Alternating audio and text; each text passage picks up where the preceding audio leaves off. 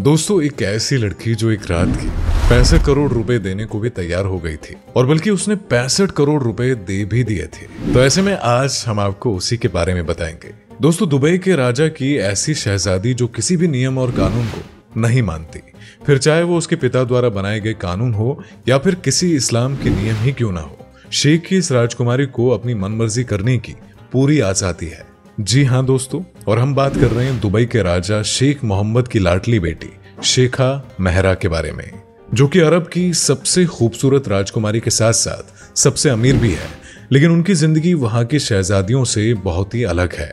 Dubai के ताकतवर शख्स शेख मोहम्मद बिन राशिद अपनी बेटी को हर वो आज़ादी देते हैं जो आज तक अरब में रहने वाली किसी भी शहजादी को नहीं मिली है।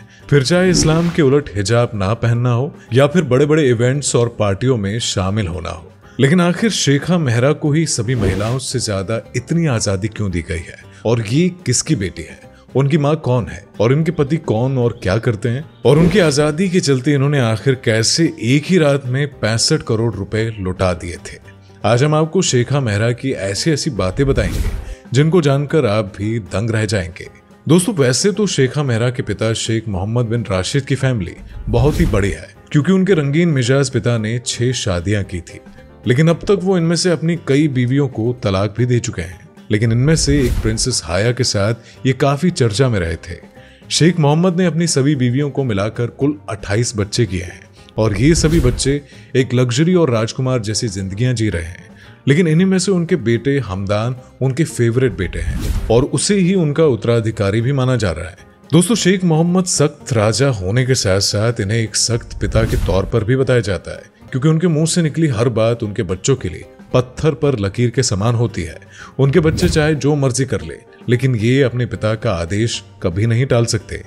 मिसाल के तौर पर उनके सबसे लाडले बेटे हमदान ने न चाहते हुए भी पिता के कहने पर चुपचाप शादी कर ली थी। इतना ही नहीं, बल्कि उनके सभी बच्चों को इनका हर हुक्म मानना पड़ता है और उनकी सभी बेटियाँ हिजाब पहनती है। लेकिन इसके बावजूद इन सभी में से उनकी एक बेटी ऐसी है, जो अपनी मर्ज़ी से ज़िंदगी जीती है।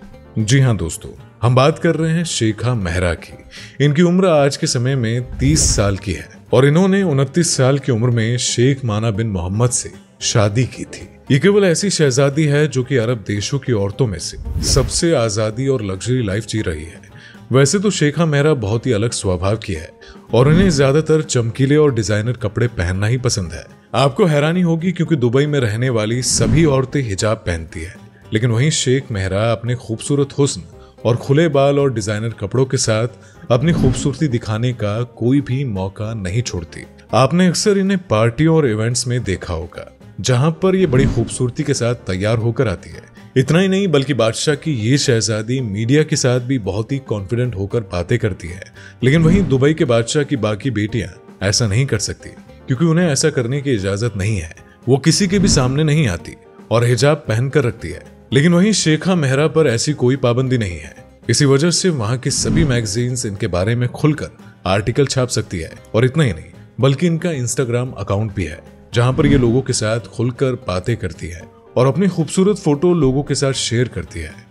इतनी आज़ादी से ये अंदाज़ा लगाया जा सकता है कि शेखा मेहरा बादशाह की बहुत लाडली बेटी है। इसीलिए उन्होंने इसे कुछ भी करने की आज़ादी दे रखी है। इसीलिए शेखा मेहरा अपनी ज़िंदगी पूरी तरह से खुलकर एंजॉय करती है। उन्हें महँगी चीज़ें खरीदना ट्रेवल करना और बड़े बड़े इवेंट में शामिल होने का भी बहुत ज़्यादा शौक है। इसलिए आजकल ये सब उनकी रोज़मर्रा की ज़िंदगी का हिस्सा बन गया है। और इस सब का कारण शेखा मेहरा की माँ को माना जाता है। क्योंकि कहा जाता है कि उनकी माँ दुबई से ना होकर, बल्कि ग्रीस से थी। इसीलिए शेखा मेहरा के अंदर वेस्टर्न कल्चर के साथ साथ अरब की झलक भी नज़र आती है। शेखा मेहरा के पिता शेख मोहम्मद आज से तीस साल पहले ग्रीस की लड़की ग्रीको राको से शादी की थी।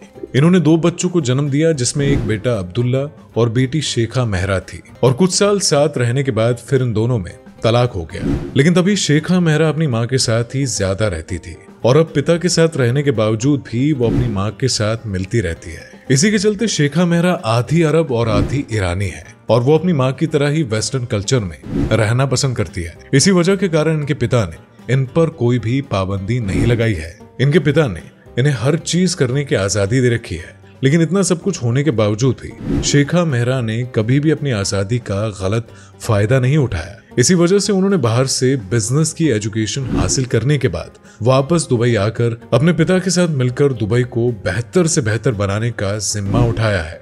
अब वो अपने पिता के साथ मिलकर काम कर रही है। इसी वजह से उन्हें उनके पिता ने आज़ादी दे रखी है। खूबसूरत शेखा मेहरा ने उनतीस साल की उम्र में शादी की थी।